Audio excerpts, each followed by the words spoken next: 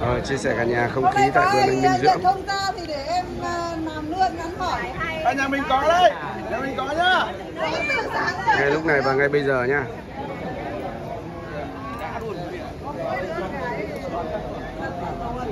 Tại vì là phát là livestream ờ, trực tiếp thì cái chất lượng hình ảnh là kém. Vâng.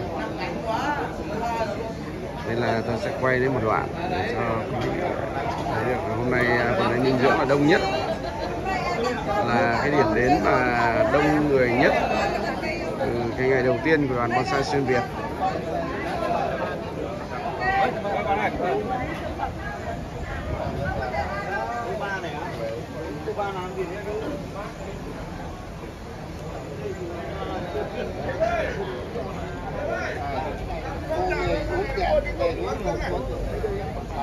Nha đưa bác Hoàng vào đời đi.